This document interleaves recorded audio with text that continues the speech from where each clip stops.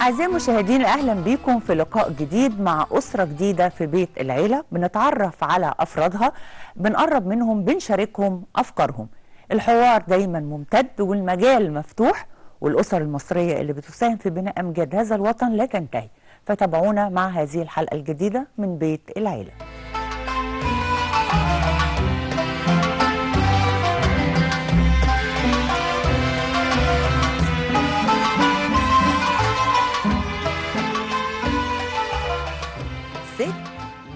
ميت راجل. جملة عامية شعبية شهيرة. لا بد وأن تتداعى إلى الأذهان. لكل من يتعرف إلى الضيفة الرئيسية لحلقتنا هذه الليلة.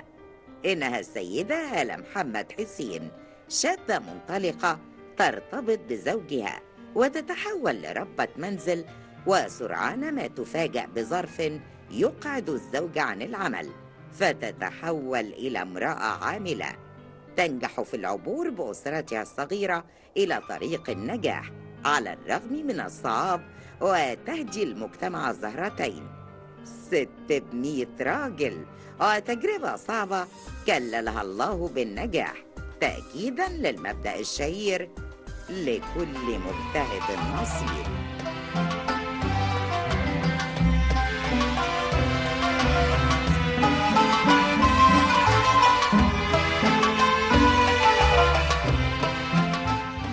أهلا بيكم مشاهدينا في حلقة جديدة وأسرة جديدة بنلتقي بيها من خلال بيت العيلة.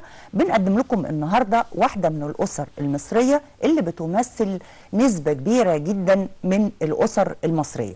بنقدم لكم أسرة آه، الأستاذة السيدة هالة محمد حسين وهي نائب مدير بإحدى شركات التأمين الطبي. أهلا بيكي. أهلا بحضرتك. وخلينا قبل ما نقدم أقول في البداية إن الأستاذة هالة آه، فعلا بتمثل الست المصرية الجدعة الست اللي ب راجل. لما نسمع حكايتها هتعرفوا ليه. بس خلينا الأول نقدم البنات نبدأ من الكبيرة آه، هند. أيوه أهلا سهيل أهلا بالظبط. بيكي يا هند. آه، ومعانا نادين آه، أهلا. الصغيرة بقى. أهلا بيكي ثانوية عامة مش كده؟ نبدأ بقى من البداية اللي بدأت بيها والمقدمة بتاعتي. لما قلت إن الأستاذة هالة هي ست مصرية آه، مش هنقول هي الوحيدة بالعكس انت بتمثلي نسبة كبيرة من السيدات المصريات اللي بيتسموا بالجدعنة آه، المسؤولية اللي قامت بالدورين دور الأم ودور الأب. آه، بس هنا نتيجة ظروف صحية. آه، نسمع منك ال- القصة بس نسمع الأول ال- السؤال التقليدي اللي عندي دايما وبحب أبدأ بيه وهو بداية ال- القصة جت إزاي والتعارف بينك وبين أستاذ سهيل بابا البنات. okay. أنا برضو من زمان وأنا ليا برضو بحب المسرح والمسرح وهو كان صديق لناس بي- بيعزفوا في band فتعرفنا على بعض و- وقصة حب و خليني أقول إن يعني نادرا ما حد بيعترف إن القصة كانت قصة حب خصوصا الست يعني. لا قصة حب. آه يعني وعنيفة دي حاجة جداً. جميلة على فكرة قوي قوي يعني. وكانت عنيفة جدا وكان فيها صعاب ومشاكل عشان ارتبط والحمد لله ارتبطنا. من الأسرة بقى نفسها ما كانتش آه من. ناحيتين. و- وكافحنا وحاربنا لحد ما ارتبطنا و- والحمد لله اتجوزنا يعني وبعدين أنت كنت خريجة إيه بقى؟ أنا تجارة. تجارة. آه وهو كان شغال في دار الطبع والنشر. okay. okay. وما كنتيش بتشتغلي في الأول؟ لا كنت ست بيت عادية؟ لا أنا ما كنتش حابة أساسا. أنا كان مبدئي من الحياة أساسا إن أنا بحب الست يعني طالما وانس اتجوزت في مسؤولية البيت وبعدين لما ربنا يكرمها يبقى عندها أولاد يبقى هو ده إيه؟ أنا كانت دي رغبتك. مش, مش دي- إجبار لا, لا أنا كنت بفكر كده أنا بحب ده. وبعدين آه، اتجوزت وبعدين ربنا رزقني بهند على طول. آه، وبعدين بقى ركزت حياتي معاها. وبعديها بسنتين على طول آه، نادو جت على طول نادين؟ آه نادو؟ بالظبط كده كل ده أنا ما. بشتغلش كل ده أنا قاعدة في البيت بربي الولاد وكل حاجة وما بعملش حاجة. عمرك ما ندمتي إن انت عاندتي أهلك وكافحتي عشان تتجوزي الجوازة دي عمرك ما حسيتي بالندم أو إن هم كان معاهم حق لا هو مش كده مش ندم مش فكرة ندم هو ده نصيب يعني أصلا أنا الندم أنا عملت ده بمزاجي وباختياري ما حدش غصبني عليه آه كان في ناس تقعد تقول لي ما انت اللي اخترتي انت اللي عوزتي انت اللي بس ده اختياري أنا وأنا ما بندمش على حاجة أنا اخترتها أيوه. يعني الحمد لله ما عنديش حتة إن أنا أندم على حاجة أنا اخترتها وده نصيب. يعني دايما بيقولوا الحب والنظرة الرومانسية للأمور لما بنعاند أهلنا آه مع الزمن ساعات نكتشف إن الحياة حاجة تانية مش كلها مشاعر مش كلها رومانسية. ده أكيد. آه يعني في ضروريات وأساسيات لازم تبقى موجودة وإن أهلنا كان عندهم نظرة أبعد. آه طبعا ده أكيد. أنا معاك حضرتك طبعا هو ده حقيقي. وكان بيحصل كده بس هو بتبقى إيه لحظة اللي هو إيه يا ريت مش عارف بس لأ أنا من جوايا لأ أنا بحبه.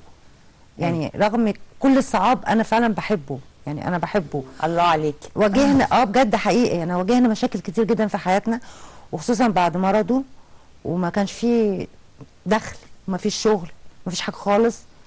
ومع ذلك أنا ما ما ندمتيش أو ما حبك استمر. لا وبحبه آه لحد دلوقتي بحبه جدا جدا كمان يعني مش يعني مش مشاعر. طلعت حقيقية. آه لا بجد. مش مراهقه شباب أو لا لا خالص لا بجد بحبه. نجحوا في الاختبار يا جماعة. كل دي دروس ليكوا أنتوا الجيل هم عادي هم شافوا. وعرفوا يعني أيوة. يعني كده. آه لا أنا بحبه يعني.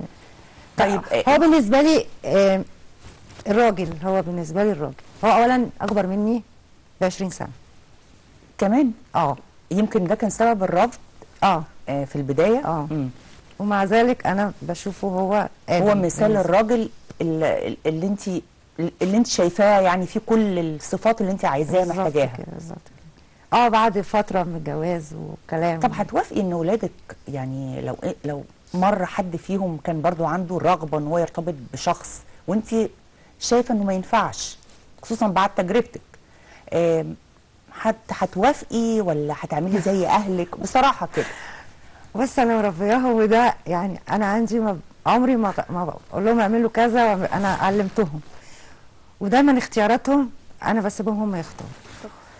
عشان دايما كل واحد هو بيتحمل نتيجة غلطه يعني أو نتيجة اختياره. ما ينفعش أنا أختار لك وفي الآخر انت في الآخر هتيجي تقولي أنت أنت اخترتي لي لا أنت اختاري فكري وجربي. التجربة. ما هو لازم الواحد يجرب. أصل أنا أنا تجربتي غير تجربتها. ما أقدرش أحكم عليها. ما أيوة. أقدرش أفرض عليها تجربتي. ما أقدرش. والله أنت أم متفتحة جدا يعني و... لا بجد وديمقراطية جدا. و... أنا- أنتوا إيه رأيكم في لا الكلام ده ده؟ بجد فعلا. ماما صاحبتكم أبدأ بقى بيكي أيوه، نادو أيوه. أنت الكبيرة. أو هند بقى. آه هند. اتفضلي. آه، لا هي ماما صاحبتنا جدا فعلا وفي حتة الاختيار ده ما بتفرضش أي حاجة علينا يعني يعني بعد ثانوية عامة لما قلت لها لا أنا عايزة أدخل كلية عادية سواء جامعة القاهرة دخلت جامعة القاهرة قلت لها لا باختياري فقالت لي طب والفن والحاجات اللي أنت بتحبيها قلت لها لا أنا هخش وهخلي دي على حاجة جنبي يعني وقضيت سنة هناك وما اتبسطتش خالص دخلتي الأول آثار كلية جامعة القاهرة. الاثار جامعة القاهرة آه وأنت اللي كنتي مختارة كده. أنا مختارة ومقتنعة جدا بقى وحاجات كده. كده لا ما اتبسطتش طلع كلام ماما اللي صح. آه هي هي كانت عارفة إن أنا طريقي كده يعني. هي كانت عارفة إن أنا مش هحب حاجة تاني غير ال- الفن أو الميديا أو السينما أو الحاجات دي. بس أنا ما كنتش شايفة ده. كنت شايفة ده حاجة أنا هواية بالنسبة لي أو حاجة مش بفكر فيها بالشكل الكبير ده.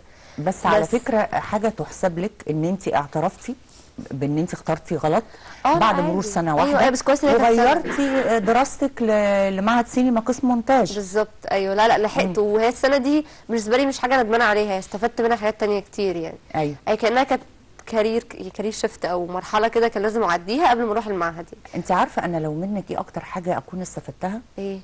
إن رأي ماما خصوصا إن ماما مش أي ست مش أي أم رأي ماما لازم أقف عنده. بعمل كده والله. أنا مش بقول لك إنك تلغي بس يعني رأي ماما نتيجة حاجات كتير قوي ونتيجة طبيعة في الشخصية وخبرة.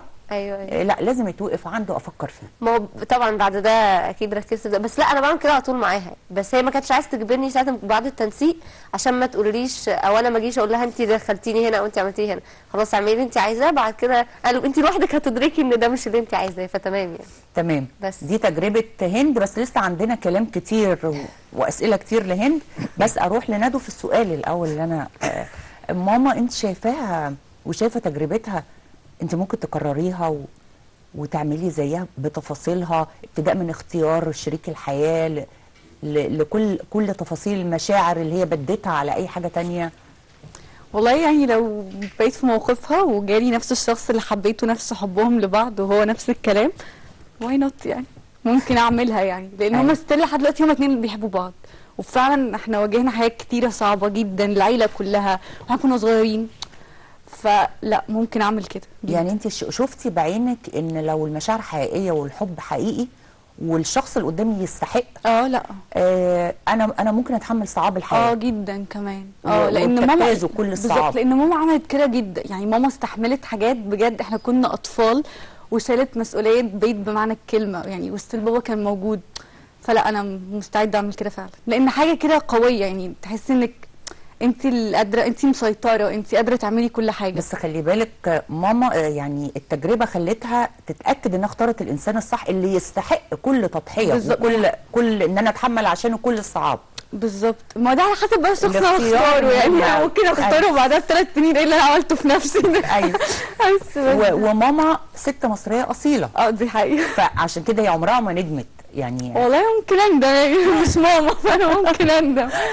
آه، في فرق عموما بين الجيل بتاعهم آه كتير. والجيل بتاعنا. طبعا. وبصراحة عشان نقوله ما نظلمش الجيل بتاعهم آه، إحنا برضو ظروف الحياة كانت مختلفة عن ظروف الحياة دلوقتي. طبعا. فلازم بالتالي المعايير معايير الاختيار تختلف. أكيد. ده أكيد يعني. أكيد. نرجع بقى لقصتك. إحنا عمالين نقول للمشاهدين الأستاذة هالة والست هالة ست ب 100 راجل وشالت المسؤولية وبتاع. ده مش نتيجة انفصال مثلا حصل أو طلاق أو بتاع. ده نتيجة ظروف آه صحية مر بيها الأستاذ سهيل تمام. اللي هو زوج حضرتك. تمام. آه، ممكن نسمع الحكاية إزاي تحولتي من ست بيت عادية جدا بتربي بناتها لنائب مدير باحدى شركات التأمين. ليكي مستقبل ليكي طموحك وحلمك وبتشتغلي. تمام. اتفضلي. هو بعد ما ربنا كرمه يعني واتصاب في عينيه يعني هو جاله انفصال شبكي في عينيه وعملنا عمليات كتير لكن انفصال شبكي في العين. انفصال شبكي آه. في العين الاثنين آه واحدة الأول وبعديها بست شهور التانية على طول. ده نتيجة مرض. ضغط أو سكر ولا أو سكر ولا ضغط ولا هو لحد دلوقتي بيعاني من سكر ولا ضغط ولا حاجة. ولا زعل حتى؟ يعني لا مثلاً خالص خالص ده سبحان الله. إحنا كنا في قضاء مصيف وقدر حتى. يعني آه فعلاً. سبحان الله كنا في مصيف وفجأة قال في حاجة على عيني كده مش عارفة إيه. على ما رجعنا كان حصل انفصال شبكي ومشيمي عملنا عمليات وبعديها بست شهور العين التانية على طول. والعين الثانية ما كانش فيه مثلا الخبرة خليته ياخد باله إن- مفيش مفيش. يلحق. حتى هو بص هو أنا بعد كده فهمت إن هو كان نظره ضعيف قوي قوي قوي هو كان نظره ضعيف. أيوه وبعدين عمل ليزك عمل عملية ليزك. أيوه بعد عملها مثلا وهو في سن كبير. تمام؟ فبعديها بالظبط بحوالي ثلاث سنين أو أربع سنين حصل له الانفصال ده. هي العين ضعيفة أساسا. العين هي آه. استعداد العين ضعيف. ضعيف. آه بالظبط كده. والحمد لله يعني. النقلة اللي بنقول عليها دايما الخبر الصادم لأن الواحد بيبقى متخيل إن هو مش هيمر بظروف صعبة اللي بيمر بيها غيره. دايما بيبقى متخيل إن حياته بيبص لها وبيبقى عنده أمل إنها تمشي بطريقة مختلفة. النقلة اللي هي من ظروف واحدة عادية وعايشة قصة حب وأم البنات وما بتشتغلش. مش أي حد يقدر يجتازها. إزاي؟ بصي وإزاي وك... وكانت بدايتها عاملة إزاي عليكي؟ بصي أنا كنت يعني مرفق متدلعة ست متدلعة. حقيقي هو أنا ما كنتش عارفة أنزل أشتري طلبات ولا أعرف حاجة خالص. هو اللي كان يجيب الطلبات و... ده حقيقي. قعدتي كده كام سنة؟ لحد ما تعب. ولحد ما تعب في أول برضه كان لا كان بيقاوح وأنا اللي هنزل أجيب وأنا اللي هعمل وكده يعني. لدرجة إن في ناس في المنطقة حوالينا حول حول ما إحنا ساكنين انت انت مين؟ ما كانوش بيعرفوني من كتر ما أنا ما بنزلش يعني. مش عشان أنا هو حابسني في البيت لأ. أنا ما بروحش السوق. أنا كبيرة أروح النادي وآخد الولادة وألعب مرفهه وست راجل شايل المسؤوليه كلها بالظبط، كاملة. بالظبط. نظرا لظروف. نظره الموضوع تطور إنه بقى نفسيا تعب. مم. اكتئب وقعد في البيت. رفض إنه ينزل وابتدى ف هنا بقى أنت دورك صعب قوي لأن دورك آه، إن أنت تتجاهلي اكتئابك الشخصي وصدمتك وتخليه يخرج كمان يعني تمثلي يعني عايز قوة رهيبة يعني وإرادة منك. أنا في ناس بتقول لي أنت بتمثلي حلو قوي. حقيقي. آه يعني قدرت الحمد لله قدرت إني هو ابتدى يقعد في البيت مش عايز يتحرك مش عايز يمارس حياته حياته معانا. وابتديت أنا أنزل بقى بالبنات الصبح آه تمرين كاراتيه سباحة مسرح فنون شعبية كورال كل ده في النادي طول النهار لاخماهم طول النهار أنا مشغولة معاهم وشغلاهم عندهم تمرين كاراتيه بعد الكاراتيه في سباحة تاني يوم طول النهار ده بنعمله علشان حالة الاكتئاب وحالة البيت ما تنعكسش عليهم بالظبط. كان عندهم كام سنة وقتها آه نادين يعني كانت لسه ما دخلتش KG 1 ولا حاجة كانت لسه ياه، صغيرة ده انت بداتي الطريق من أوله آه كانت لسه ما بتعرفش ماما بدأت معاكوا يعني من زمان شالتكوا. كده من أيوه من الأول من الأول. الأول آه فكانت بس ده ما يمنعش إن دور بابا آه طبعاً. آه دايما الأب لما ما يتخلاش عن مسؤوليته بمزاجه بارادته ولكن قضاء عنه. ولظروف صحية وخصوصا لما تسمعه هو كان عامل إيه لما كان طبيعي. آه بالعكس ده ما يقللش ابدا من. دور آه آه بابا. لا. آه والظروف النفسية اللي هو مر بيها ده شيء طبيعي جدا أكيد جدا يعني أكيد تحصل أكيد لأي حد. أكيد. فكنت بتنزلي بيهم بقى بتشغليهم بالرياضة؟ برياضه كاراتيه ومعاهم حزام أسود الاثنين يعني فضلت وراهم. فين راح الكاراتيه؟ لسه بتعرفوا تدافعوا عن نفسكم ولا؟ خلاص بقى خلاص. لا بندافع بالضرب مش مهم كاراتيه خالص بعيد عن لا لا الكاراتيه تمام. لا أيوه اتفضلي. وسباحة وكنت بقى إيه في, في النادي مسرح. أنا بقى استعدت بقى من وأنا في ثانوي بقى كنت بمثل مسرح وكده. عملت فرقة من الأطفال. كان معايا مخرج اسمه ضياء. إمتى عملتي فرقة؟ في في النادي. في النادي معاهم بيهم بيهم. بيهم. ولميت بقى بالاطفال بتوع النادي كلهم كل اللي وعملنا مسرحيات و... والله فكرة جميلة جدا. آه. يعني انت اللي بادرتي بالفكرة دي إن انت آه. عملتي فرقة. آه. طب ليه علشان لقيتي الهواية دي عندهم ولا عشان تكملي حلمك عن طريقهم ولا؟ آه. إن أنا أنا كنت نفسي أدخل فنون مسرحية وبابا بابا ما وافقش يعني. فأنا بحب التمثيل من وأنا في ثانوي يعني من وأنا لسه في أولى ثانوي ما كنتش أعرف يعني إيه إن أنا عندي هواية. غير لما وقفت وعرفت إن أنا لأ بحب التمثيل وبحب خشبة المسرح والكلام ده كله. فمن هم الصغيرين كانوا بيشوفوني أنا كنت ساعتها في الوقت ده بمثل بس في النادي وفي قصر ثقافة. أيوه. فهم كانوا بيشوفوني. يعني أنت فعلا مارستي هواية التمثيل على كبر في تبع الثقافة الجماهيرية آه وفي النادي ومش مهم مين يشوف ومين بيعرف جمهور النادي حلو لطيف عليا حلو قوي مبسوطة بيهم قصر الثقافة حلو قوي أنا راضية ومبسوطة و... فهم كانوا صغننين كده بيجوا معايا البروفات وشايفين الدنيا. يعني وأنا كل ده لخمن حياتي بده أنا مبسوطة بده. وبعدين هم بقى ده بيأكد لشخصيتك إن أنت بتحبي تعملي الحاجة اللي أنت حباها بصرف النظر. زي ما أنت بتقولي كده مين بيشوفك ح... حتى لو مش هتعود عليكي بحاجة ولا مادياً حتى، ماديا ولا بالظبط. بأي حاجة. بس انت بتستمتعي انك بتعملي لانك انسانة صادقة يعني. بالظبط. نقدر نقول ده أبسط حاجة بالظبط. عليكي فالحمد لله عملت فرقة وبقوا دخلوا ومثلوا والكلام ده كله واتبسطوا. نفسهم يرقصوا وجبت لهم مدرب فنون شعبية ورقصوا فنون شعبية وفرقة برضه. عايزين يغنوا جبنا كورال. كل ده من ولاد النادي يعني عارفة؟ أيوه. والدنيا مشيت معايا. كل ده ما بشتغلش. كل ده يعني أنا كنت لسه برضه بشتغل. أيوه.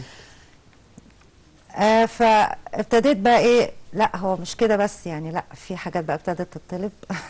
في مطالب وفي آه. الاحتياجات آه بتاعت الحياة ومصاريف كل ده لسه إحنا فكانت آه، يعني كان الحمد لله يعني في يعني والدته الله يرحمها برضو كانت واقفة جنبنا في الفترة دي عشان هو كده. وبعدين حسيت لا ما ينفعش كده فابتديت أدور على شغل. ما افتكرش ما فيش حاجة ما اشتغلتهاش في أول قبل ما أكون في الشركة اللي أنا فيها دلوقتي. اشتغلت حاجات كتير مدير مكتب آه، في الإعلانات في كوافير في كل حاجة اشتغلت اشتغلت. والحمد لله أشتغل ربنا وفقك في في المجال اللي أنا فيه في المجال دلوقتي واستمريت فيه ومبسوطة فيه الحمد لله. وبس المسرح أساسي في حياتي في كل ولسه لغاية دلوقتي. آه. مم. يعني أنا اشتغل وحلو تمام وبعد الدور أنا حياتي بقى أعمل فيها اللي أنا عايزاه. آه، اللي أنا لاحظته غير عشان كده سألت سؤال أنتوا أصحاب؟ إن إن في آه، رابطة أو رباط معين مميز بينكم أنتوا أنتوا مترابطين متماسكين بتحبوا بعض أصحاب. أصحاب.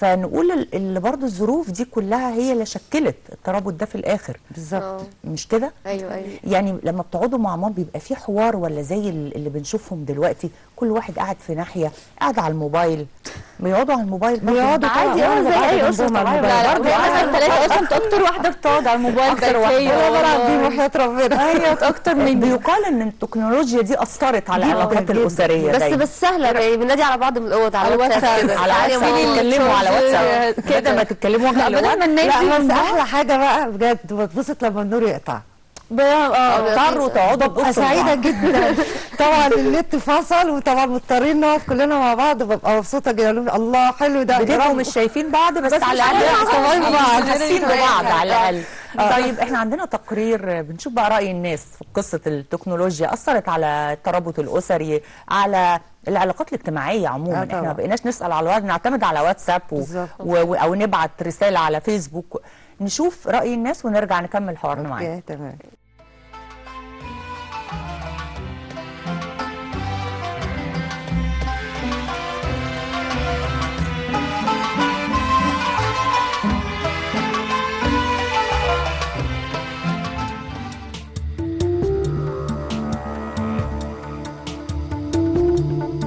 طبعا التكنولوجيا فيها عاملين عامل سلبي وعامل إيجابي. العامل السلبي نتكلم عن العامل الإيجابي الأول العامل الإيجابي إن هي بقت فيها نوع من الراحة لل- للإنسان.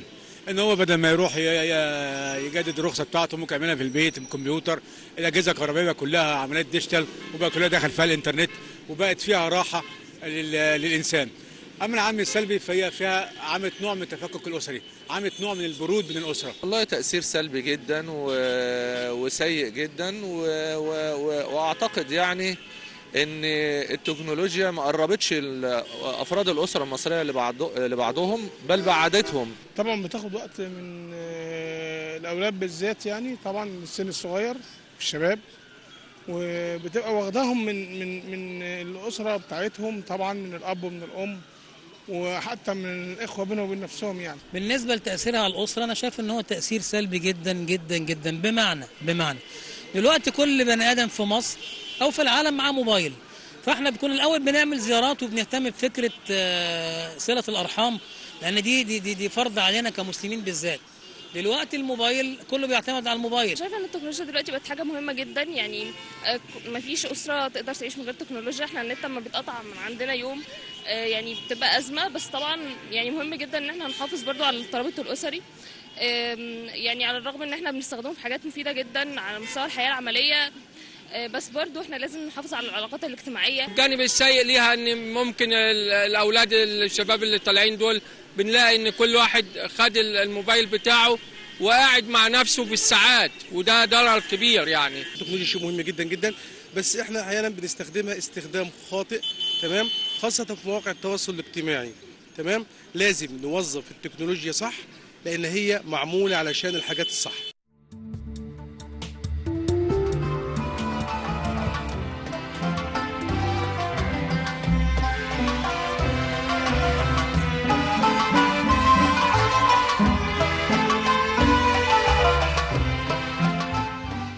أهلا بيكم مرة تانية. شفنا مع بعض رأي الناس وسائل التكنولوجيا أثرت ولا لأ بصورة سلبية على العلاقات الأسرية.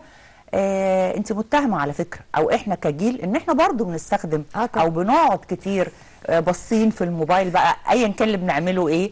آه بس هو بقى سمه العصر. هو فعلا هو سمة العصر فعلا وإحنا كلنا دلوقتي بنضيع وقتنا عليه فعلا. نقعد- لدرجة إن إحنا مش متخيلين هو قبله إحنا كنا عايشين كنا؟ بنضيع وقتنا على فكرة برضه. على المكالمات على التلفزيون. التليفون الأرضي. آه آه، أو التليفون الأرضي. كان فيه برضه يعني. أكيد طبعا. إحنا أيوة. بنلاقي نضيع وقتنا يعني. مش بنغلب ابدا. لا ما بنغلبش. آه أنت متهمة إن أنت بتقعدي على ال- الموبايل بس هو في حاجة اسمها برضو إن أنا الوقت اللي قاعدة مع بناتي إزاي أوصل لهم فيه معاني كتير ومشاعر كتير. آه مش بطول الوقت لكن آه زي ما بنقول quality time يعني إن أنا آه لأ الوقت اللي بقضيه آه حتى لو كان ساعتين في اليوم أو أكتر أو أقل آه أنا عارفة إزاي أوصل لهم معاني كتير أفتح حوار نقاش آه أسألهم أسئلة معينة خليهم يقولوا لي على الأجوبة اللي أنا عايزة أسمعها ومحتاجة أسمعها عشان أطمن عليهم. فنقول أنا مش شايف إن ده أثر عليكم كأسرة. لا خالص يعني إحنا إحنا لما بيبقى في موضوع مثلا طبعا أنا شغلي طول النهار وساعات بروفات يعني بخرج من شغلي على البروفات مثلا. آه، بنتقابل بالليل مثلا. فنقعد ها أنت ما تناميش عشان أنا جاية عشان عايزاكي في موضوع. يعني لا بنلاقي بعض. أيوه. بنلاقي بعض. ولما بيبقى في موضوع لازم نقعد ونتكلم فيه. نقعد ونتكلم ونحكي. ممكن يكون موضوع بيني وبين هند بس بيني وبين نديم بس. المهم هم بيحكوا. آه. لأن الجيل ده مش كله بيحكي لا قوي بيحكوا. بيحكوا. ليه بقى؟ لأن. هم اتعودوا على كده. مهم بحكي. قوي تعودوا على كده دي. آه أنا بحكي وهم إحنا صحاب إحنا ثلاثة صحاب. فأنا طول عمري بحكي لهم وهم يحكوا لي فإحنا على طول اتعودنا على ده. كانوا يجوا من المدرسة حصل واحد اتنين تلاتة. وزي هنا ماما كانت بتضحك عليا زمان وكانت تقول لي العصفورة قالت لي أنا برضو كنت بضحك عليهم وأقول لهم العصفورة قالت فكانوا لما يخشوا من المدرسة وشكلهم كده مش مظبوط. أنتوا عملتوا إيه؟ هي العصفورة قالت لك يقوموا معترفين بكل جرايمهم. بس خلاص بقى العصفورة قالت لي دي آه، عصفورة من ماتت. لا هي هي- انت عودتيهم وربيتيهم على كده؟ آه، و... و... ورد فعلك معاهم لما بيحكوا لك أي حاجة؟ كنت أقول لها أكيد ده اللي بيشجعهم إنهم يحكوا. اغلطي واعملي مصيبة اعملي كارثة وتعالي قولي لي يا ماما أنا غلطت وعملت مصيبة. أنا هعرف عليك. ده مهم. لكن انت مش هتعرفي لوحدك. وما تخافيش. اغلطي وما تخافيش لأنك هتتعلمي لما تغلطي. كنت دايما أقول لهم جملة يعني أنا مش عارفة هم فاكرينها ولا لأ.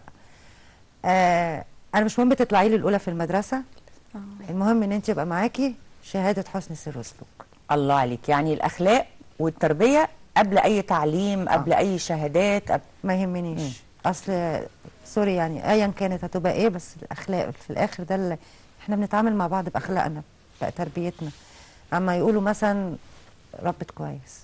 إيه يعني طلعت دكتورة ومهندسة؟ لا مش فارقة معايا أكتر ما فارق معايا أطلع بني آدمة تعرف بس انت طلعتي. برضو آه، الحمد بنات لله. متعلمات الحمد آه، لله. عندهم وعي وثقافة سابقة سنهم من كلامي. معاهم لاحظتها؟ إيه ده؟ حضرتك؟ المسرح.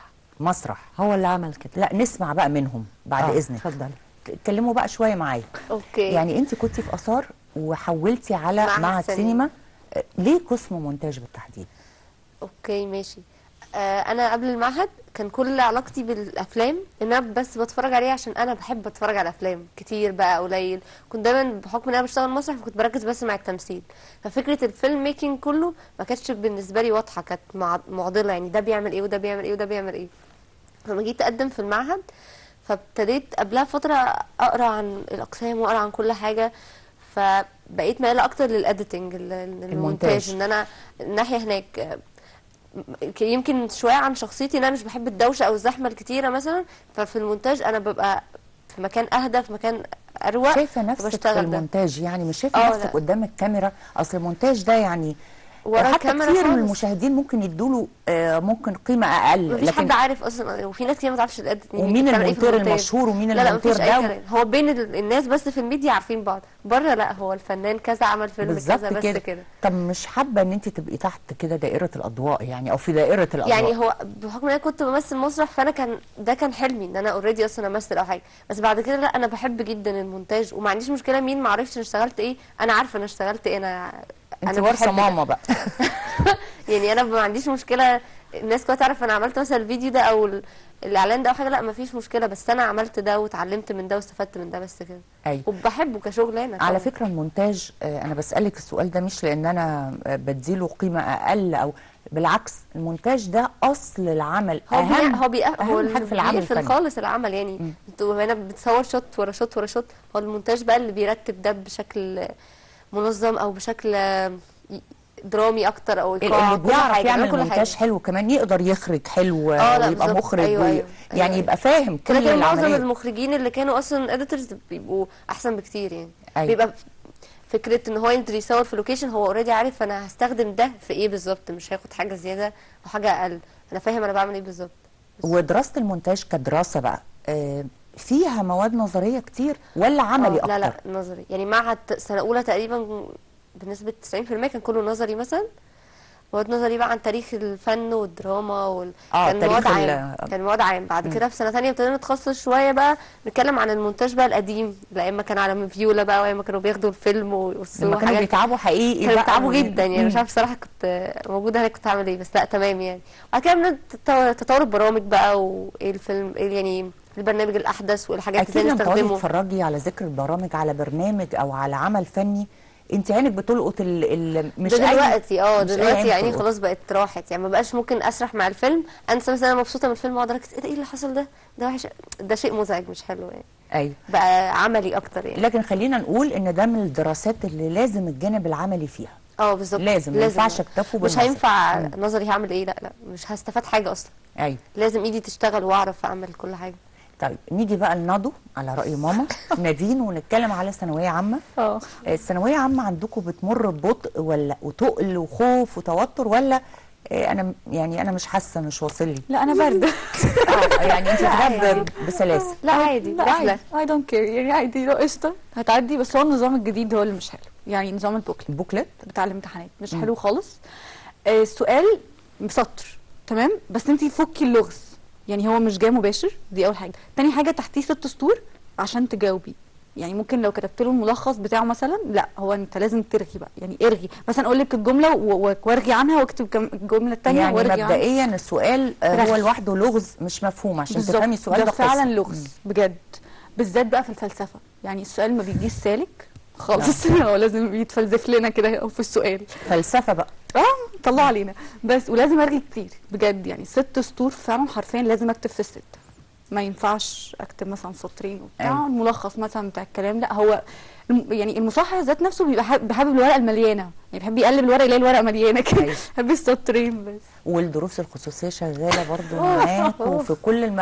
أو في معظم المواد. لا، القصة كله، كله. كله. كله. آه لا كله طبعا. في في- درس بيتاخد مرتين عادي يعني مش يعني درس مع ناس كتير وبعد كده تيجي في البيت تاخد بقى مع المدرس بقى عشان يشرح لها براحتها الدين يعني هو بمعنى إن حرفيا ما عندهاش وقت تقعد أصلا تراجع اللي أخدته في الدروس دي. ما عندهاش وقت تذاكر أصلا. ما عنديش ما وقت بالظبط وصلت. لدرجة ما عنديش وقت اذاكر انت بتعتمدي على المعلومات اللي انت لقطتيها أنا لقطت. حاجة فمثلا بيبقى في يعني كويس كده في ال- في الدرس المستر قال كذا فقشطة هكتبها. أيوة. المستر قاله بقى لكن أنا مذاكرته مفيش.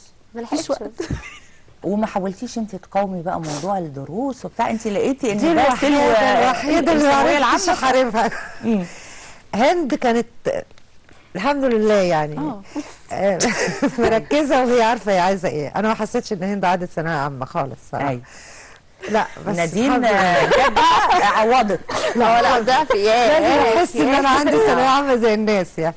يعني لا. بس آه، بس أنا ما بقولش ذاكر على فكرة. الكلمة دي عمرها ما طلعت من أنا لساني. أنا كنت هقول لنادين فعلا الميزة إن عندك البيت على الأقل ما فيهوش توتر لا ومفهمينك خالص، إن دي الموضوع. سلس وسهل و... بس في إيه. حبة كده حبة إحساس هو بقى هو فقدتهم يعني عادي كده أنتوا يعني عادي انت واضح إن انت مش عارفة مش بتقفي عند الأمور. لا لا لا تاخدي الأمور كلها ببساطة. يا عم عادي مش مشكلة. عموما هو حاجة جميلة الموضوع ده للحياة عموما. آه طبعا. إن هي مش مش بتعقد الأمور لا لا يعني. الحمد لله دي عادي يعني. ما عندهاش مشاكل الحمد لله. طب أنت عايز تبقي إيه بقى؟ بالمناسبة ال ال ال- الدماغ الكبيره قوي. والله زمان وأنا صغيرة كده يعني كنت حابة أبقى مذيعة قوي وكنت حابة الموضوع كده وكان معكم ومذيعة.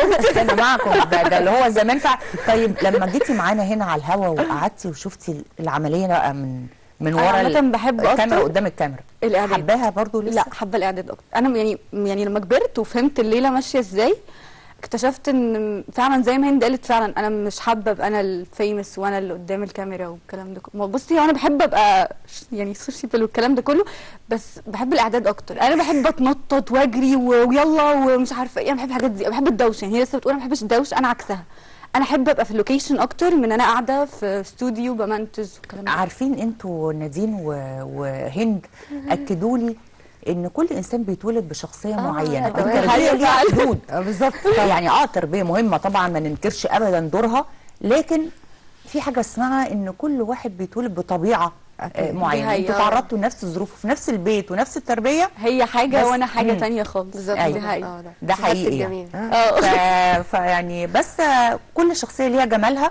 ونقول إن انت عايزة حلمك إن انت تبقي معدة معدة يعني آه، اولا دور الإعداد ده مهم جدا آه دي حقيقة في كل البرامج. هو هو المخ هو المعلومات هو ال- الصلات اللي, اللي بيتصل بالضيوف.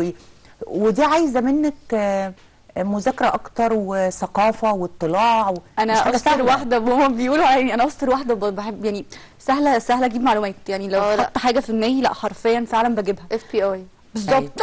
هو بيتقال عليا كده فعلا.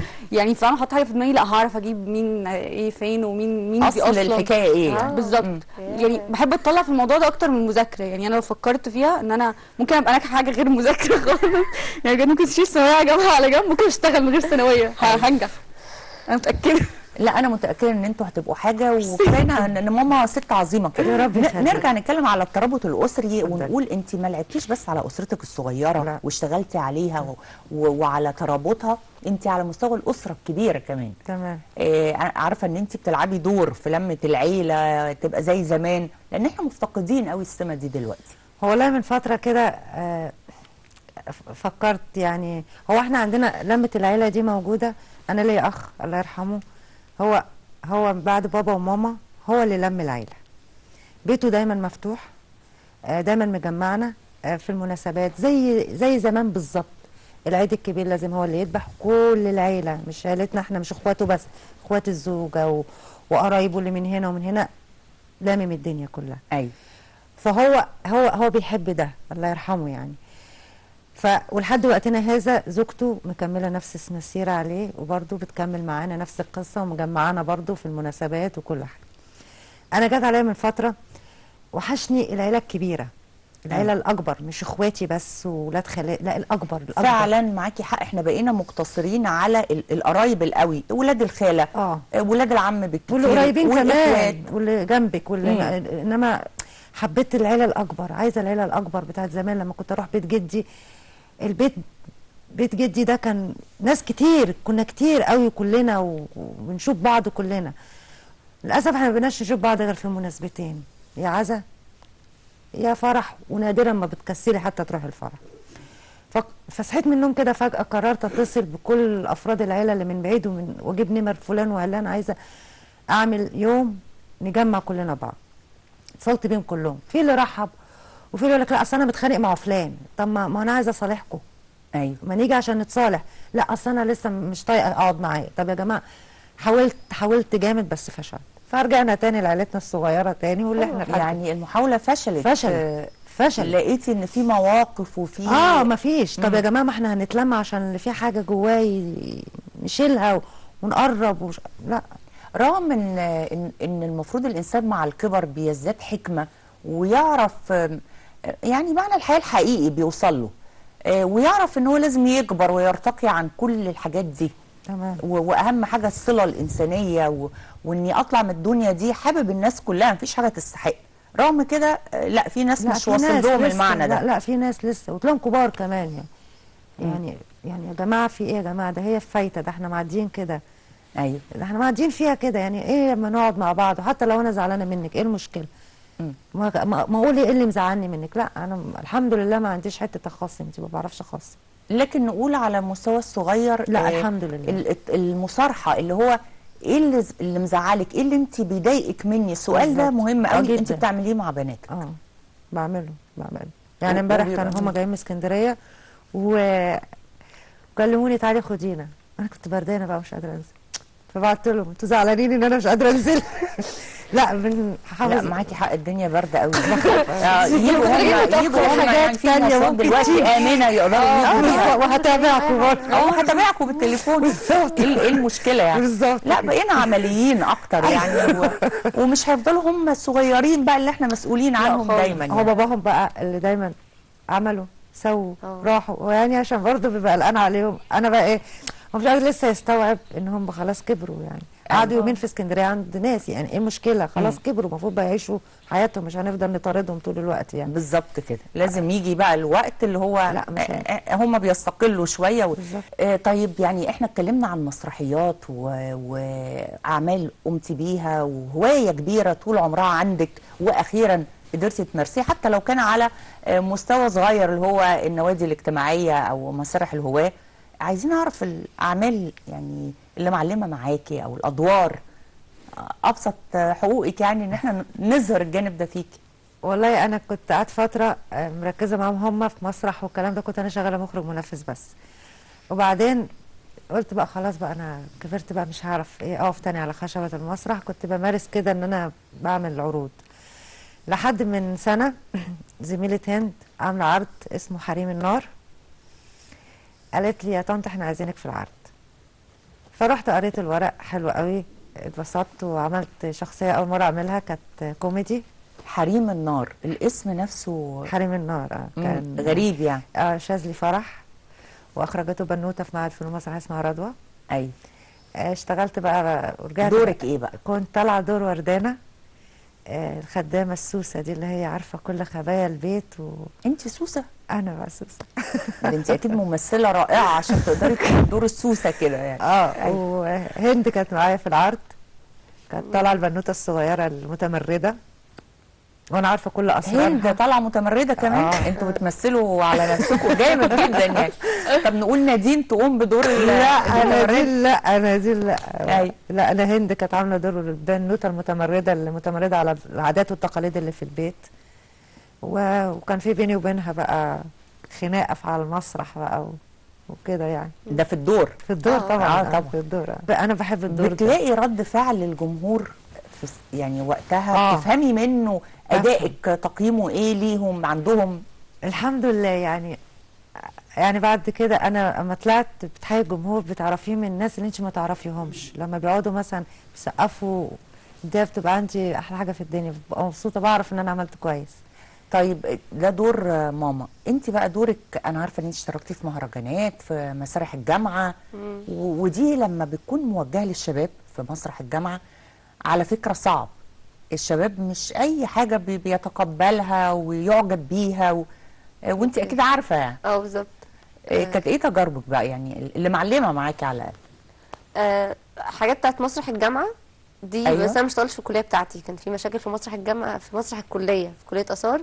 آه كان ما كانوش آه، النشاط نفسه ما كانوش بيعمل مسرح الوكيلة كانت لاغية كذا المسرح كذا سنة يعني. بس هم شغلوه ده تمام. فاشتغلت مع سياسة وإقتصاد. اشتغلت عرضين مع سياسة وإقتصاد. دول كانوا بدايتي في مسرح الجامعة أو بدايتي كان إيه إحساسك وأنت بتواجهي الجمهور بقى؟ لاول مرة المسرح صعب جدا لا بس أنا بشتغل مسرح من وأنا صغيرة. فأنا فكرة اواجه الجمهور دي كانت بالنسبة لي عادي أنا خلاص أنا تمام. آه أنا تمام يعني. أنا كده كده بقف على مسرح من وأنا صغيرة فما عنديش خوف أو رهبة. بتوتر قبل العرض بس عادي توتر العرض مش توتر الجمهور يعني. بس آه، فبس مسرح الجامعة يعني كانت دي من الحاجات اللي كانت حلوة جدا في جامعة القاهرة. واللي افتقدتها في معهد سينما إحنا مش عندنا مسرح أو حاجة بقى. إزاي ده؟ لا ما في فيش معهد سينما؟ آه بيعتبرونا تخصص بقى فمش يعني أنا مش فنون مسرحية أنا معهد سينما أيوه أيوه عشان مونتاج. فانت آه، يعني ما فيش عندناش أصلا آه مش ما عندناش الأنشطة دي خالص يعني. أيوه. بس آه وبعد كده بقى اشتغلت مسارح كتير اللي هو فرق حرة بقى. عملت بقى في الأوبرا وعملت في مهرجان الساقيه و... لا وكلها. عروض نقول إن إن في الآخر آه، هند اتكونت كده كشخصية اللي إحنا شايفينها نتيجه آه، كل الكلام ده وماما. ب- بترجع شخصيتكم الميزة وال- والتميز اللي فيها للمسرح أيوه بالظبط ده اللي أيوة فهمته لأن منها. المسرح بي- بيعلم حاجات كتير سواء بقى التزام سواء آه قوة شخصية بالظبط. آه، ثقة بالنفس مواجهة آه. جمهور تعبير عن ال... آه،. لا ده ده معاني كتير أيوه أنا. كنت بستغرب لما حد يقول لي أنت إزاي بتقفي على المسرح اللي هو أنا مش عارفة هو أنا طلعت لقيتني بقف على المسرح أنا مش شايفة أنتوا خايفين ليه أصلا يعني لا ده كان رهبة تمام رهبة المسرح دي إحنا تمام إحنا بالنسبة لنا بالنسبة لك يا نادين أنا برضو؟ كمان تمام لأن أنا كنت بمثل مسرح وأنا صغيرة بس لما كبرت ما مثلتش غير مسرحية واحدة من سنتين أو ثلاثة تقريبا وقفت يعني مش مش عايزة أشتغل مسرح ما ما أعرفش بس بالعكس لما بحضر مسرحية لماما وهند اللي هو بتغاظ اللي هو إيه ده كنت عايزة أبقى فوق إيه ده يا بختكم طب ليه ما حاولتيش إن انت تشتركي مع ليه ما اشركتيهاش لا بالعكس ده هي على طول يلا روحي مثلا هي هنا في بتكسل تبذل المجهود ده ف بالظبط. أنا بكسل جدا أنا خلينا. بقى نقول ما دام بنتكلم عن مسرح مسرح ده مجهود رهيب. آه طبعا. يعني مش آه، واقفة لا، سهله فعلا، اولا. استعدادات واقفة بالظبط. آه، التزام يومي. آه لا. طول مدة العرض عشان ليلة عرض مثلا أو حاجة. يعني ممكن. تقعدي تشتغلي بروفات ثلاث شهور عشان ليلة مثلا. حرفيا أيوة. بالذات في. المهرجانات. أنت بتعرضي ليلة. أيوه. يعني يعني أنا دخلت ثلاث مهرجانات مثلا. هي ليلة اللي بتعرضيها وأنت ونصيبك. يعني عشان بتتقيمي. فبتقعدي مثلا بالست شهور بروفات بروفات وتعب. ومجهود هي. ليلة. وخلينا نقول إن كل ده والعائد المادي مفيش. لا لا مفيش لا. طبعا. لا لا المسرح خالص انت بالعكس انت بتصرفي. آه آه طبعا بتصرفي في الديكور بروفات وديكور ولبس. وبروفات وفي اللبس. طب آه يعني هي دي حاجة جميلة قوي. وحاجة بقت نادرة. ويعني إحنا عشان كده وجهنا لك في الأول كل تحية واحترام لكل قصتك مش مش للقصة دي بس. بس هل المثالية القوي دي صح؟ في الزمن ده ولا برضو لازم يبقى فيه جزء آه إيه العائد؟ ما هو أي حاجة لازم يكون ليها عائد. حتى لو أنا اديت لها في الأول بس أنا عارف إن في يوم من الأيام هيجي عائد. خصوصا إن كل حاجة مترجمة في الزمن ده لأمور مادية. يعني مش كل حاجة معنى كده إن أنا بلغي المشاعر أو المثاليات أو لأ بس بقول إن في حدود.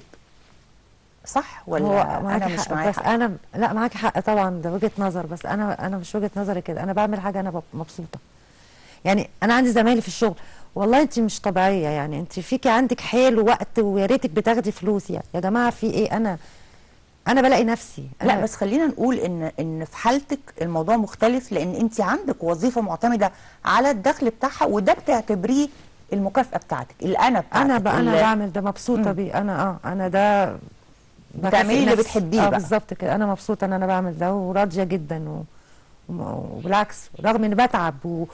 وباجي من شغل يعني من الشغل على البروفة ومن البروفة وخصوصا لما كنا أنا مثلا كنت آخر عرض عاملاه قعدت عرضت تسع ليالي تسع ليالي يعني كان ابقى في الشغل وراحه على بسرعة على المسرح ومش عارفة إيه وشغلي ملوش علاقة خالص بال باللي أنا فيه بس ببقى لأ عادي شفتي يا نادين بقى يعني إيه تحبي حاجة يعني عمرك ما تقولي أنا مكسلة يا نادين على إني أعمل. يا نادين. أيوة، لا لأن أنا كنت بسأل نادين لأن أنا و- وتشعبت وتفرعت القصة مننا. آه هي الفكرة إن فعلا أنا يعني شايفة إن ماما فعلا بتحب المسرح لأنها بتصحى بدري وبتروح الشغل بتخلص مثلا سي خمسة والبروفا بتبقى سبعة فهي بتجري مثلا من شغلها للبروفا وبعد البروفا بترجع يعني تنام فأنا فعلا بقعد باليومين ما بشوفش ماما خالص بجد مواعيدنا غير بعض. فانا فعلا ما بشوفش ماما أيام كتيره ودي حاجة دور على الالتزام. يعني نفسي كنت اورثها زي هند ما ورثتها بس أنا ما ورثتهاش خالص موضوع الالتزام. أو ان يعني إيه الواحد يحب حاجة؟ يحب حاجة يحب يعني حاجة يعني يبهدل نفسه عشانها وده أكبر. دليل لمام يعني ليه مسرح ما بناخدش حلو ما يبهدل نفسه من- عشانها أحسن تعبير. آه، بالظبط. يعني هي ما بتاخدش مثلا عائد من الموضوع ده لا ومع ذلك بتتعب نفسها جدا جدا أيوة. في الموضوع ده. بس دي حاجة انت لما تحبي حاجة بجد بتعمليها وانت مش فارق لك بقى أصلا هتاخدي منها مقابل هتتعبي منها انت شايفة إن آه، يعني دي نفس نظرتك للأمور والله فعلا أنا صح؟ لما لما أنا متاكده مثلا لما أحب حاجة بجد زي الشغل اللي أنا هشتغله ومش عارفة هو إيه. أكيد هعمل كده لأن أي حد بيحب أي حاجة في الدنيا بيسعى ليها يعني ايا كان إيه المخاطر اللي هيعدلها يعني. أيوه. والله أنا سعيدة بيكم وأنا رأيي إن كل أسرة بنستضيفها خصوصا الأسر لما تكون متميزة بمعنى من المعاني الإنسانية الكبيرة زي الأسرة اللي أنا مستضيفاها النهارده. شايفة إن إحنا بنوصل للناس آه، حاجات كتير قوي بطريقة غير مباشرة. مش عايزة أقول دروس مش عايزة أقول لكن تجارب. آه، أكيد هم يستفيدوا منها. فإحنا بنشكركم فعلا ودي تجربة أنا شخصيا استفدت منها حاجات كتير قوي. آه، وأنا سعيدة بلقاء الأستاذة هالة ونادين بشخصيتها المختلفة وهند. آه، سعيدة فعلا بلقائكم. وطبعا بلقاء السادة المشاهدين وإن شاء الله هنلتقي في نفس ميعادنا الأسبوع القادم وأسرة جديدة من بيت العيلة.